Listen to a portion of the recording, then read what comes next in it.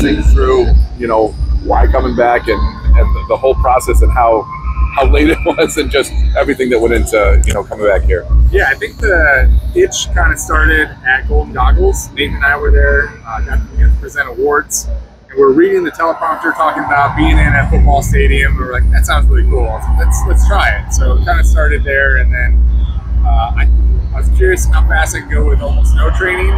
It wasn't that fast. Yeah. So I was like, oh no, I got to start swimming uh, a little more seriously. And it was it was a lot of fun. Uh, I was lifting a lot, but not swimming afterward just to stretch it out. And uh, it was- so I just added a little more swimming and a little more intensity, and uh, and I tried to go pretty fast. So kind of that sprint training that Brett Hawke's always talking about, sprint Right. revolution. Kind of tried it out, really liked it, ended up going kind of fast. And what does it mean to you to be able to go fast enough to be here? And we're seeing, you know, uh, Gabrielle Rose had a big meet. Brie Larson's here. You know, like it, it's there's a lot of people doing, you know, kind of the same thing. Yeah, I, I think a lot of people have the capacity, like a financial situation or kid situation, job. Uh, sorry, I I think more people would. so I just happened to be in the situation that I could uh, put a little more time on myself. It feels selfish, but uh, once I went to time, it felt really good, and uh, it's it's cool to know that at 39, my body definitely still has it. It's just what are you willing to put into it. So it was it was you know, really fun to make the team. Really fun just to know that I get to swim here, hang out with a lot of friends, walking on the pool deck, saying hi to all the coaches and older athletes. Uh, just felt kind of like a homecoming, and just to be in this environment without that much pressure is super refreshing and just a really great time. Watching finals and hundred back last night, I was like, kind of want to be there. And then like when they're stepping up behind the blocks and I saw the faces and that a little bit of you know pre-race anxiety, I was like, I'm, I'm happy I'm here. Uh, and the 50 free is kind of a different situation where that's just fun. See if I, I'm kind of going for almost the best time, and it's a big time drop, but just uh, with the kind of sprint focus and uh, yeah, type of training. It's, it's possible. And that's really fun. And I've always been addicted to improvement, and I had improvement in the freestyle. I don't think I was going to get in the backstroke. So that's kind of how the event choice came about. How does the mental component differ now compared to previous trials, or does it differ at all? Oh, it's very different. Uh, previous trials, it was my livelihood. That's that was my job, um, and I felt like a lot of people depended on me, not just financially, but the support system. It's really great to have an awesome support system, but then you feel like you owe everyone that supported you, and you really don't want to let them down. So right now, it's you know my my uh, business, the Mont Valley Swim School, is kind of giving me more time to train, and my wife taking more uh, mom responsibilities, family. But really, it's, it's just here to have fun and uh, let's go as fast as I can, but with no expectations or pressure. I mean, little expectations, but just the fun kind. Does that feel good to have? Feels really good. Like I'm walking around talking to people before I like make sure I was sitting or napping or sleeping, and now I'm like hanging out with my parents. They came in today, uh, and really, yeah, just enjoying myself without being careful because swimmers are fragile during the taper moments. You don't get to enjoy yourself too much, so I'm not worried about that so much, and it's really great. Yeah, very good. No one came. we we were thinking about having the wife and kids come. They stayed at home. Uh, they're seven, four, and one. My one-year-old doesn't love flying yet, and it's just we're we're traveling in July. They're like, we'll do this for me. It's kind of been a reunion for me anyway, where I mean Annie knows a lot of people, but to take care of the kids and have kind of the, the relation catch-ups that I wanted was going to be hard. So it, was, it just made more sense coming. Out. So they're supporting me from home. Talk about how there's more pressure, but on the other side, what would it mean if you end up qualifying? I don't know if my li- life let me go. um, no, it would be it'd be incredible, and I, I think maybe like Gabby's cheer when she went out for semifinals, it was like one of the loudest ones of the meet. It's like so people were rooting for the old guys just to see what you can do. Like, hey, you're like almost forty, and you're able to push your body to that level. I think everyone can kind of then picture themselves like, hey, what could I do if I kind of was you know, eating or training or whatever uh, a little more carefully. I, so, yeah, I'm not counting anything completely out, but uh, I'd probably be upset that I didn't try that hard and I made it. Like I'd be like, well, this isn't even fair. Um, but yeah, no, I, the love of the sport goes a long way. I think just having a, a great love and uh, just an excitement to be here instead of stress probably, probably does end up helping a little bit. What's at your age, and you've been here so many times now. What, what's the difference seeing all the young bucks trying to do what they do?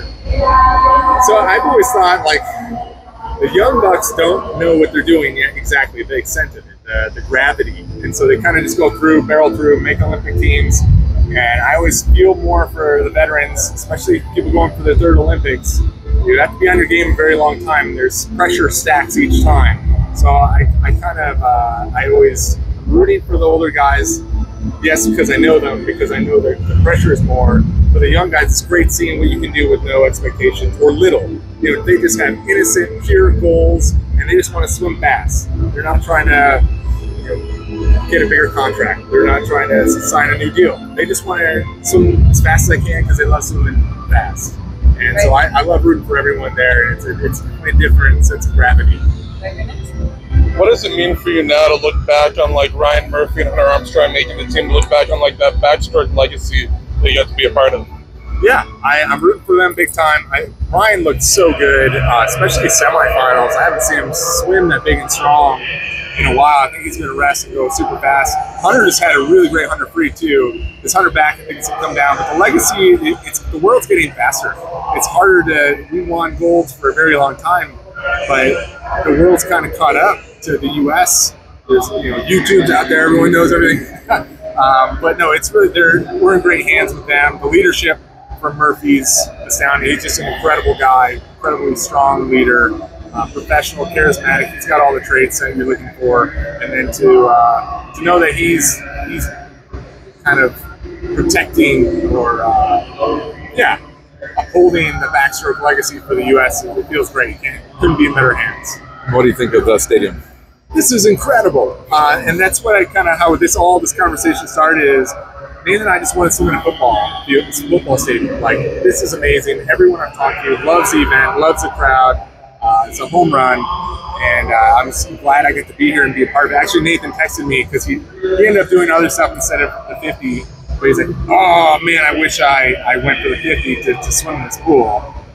Hey, four more years, buddy. We can go back and go. We can do it. Let's go. You gonna hang around? Is this to be part of a long term? I was. I'm gonna see. This was great. Um, the setup was amazing. Just having that time to focus on myself in the pool for an hour a day made me so happy.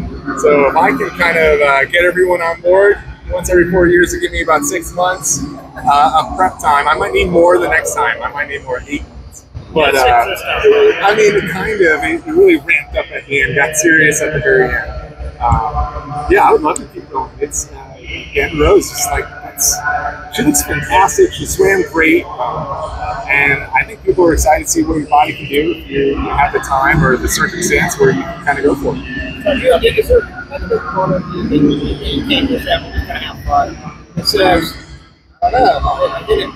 I mean, you're, you know, you've been there so many times. I assume you're not just here totally for fun. It's not. It's a big part of me. You can't turn it off. Watching that hundred backstroke, I'm like, like I want to be in. And I'm like, no, no, no, I'm happy. No, I want to be in there. And for the 50 free, same thing. I'm like, okay, I don't care so much about my legs, but if I see a seat, I'm gonna sit down and try to, you know, try to relax. So, and I'm watching film stroke, and I'm thinking, uh, yes, I would like to do as well as I can. I, that's but that's in everything I do. If I go play pickleball, I'm gonna want to be the best pickleball player there is. I'm gonna watch all the videos. I'm gonna focus. And I did a little tournament, and I was like adrenalized like it was before swim race. It's just I think how some of us are built. We just love those moments, want to take advantage of, of any time where you can compete and perform your best. And uh, that's I can't can't stop that. I'm trying to be relaxed, but I'm already getting the butterflies a little bit, and I love it. I love the whole preparation. I love uh, the anticipation of the race, and I'm gonna love the race. And this time, just happens where the outcome isn't as significant as before, so it's it's kind of more fun of a lead up. Last question. Being a fundraiser, what is it about it? It's it's not too much race strategy. You just don't breathe. You don't have to worry about walls messing up turns. You just jump off that block and go as fast as you can. It's so pure, raw speed and power. Something I've always loved is actually one of my best events in high school, and I kind of got drawn away from it over the years. It's hard. It's hard to be a 50 free specialist. You have to be so on, so many things you got to work on strength, and you have to have the perfect stroke. You can't get away with you know horrible arms because you have a great kick. You need to have everything dialed in and connected together. And so that's been super fun to work my freestyle like I haven't before.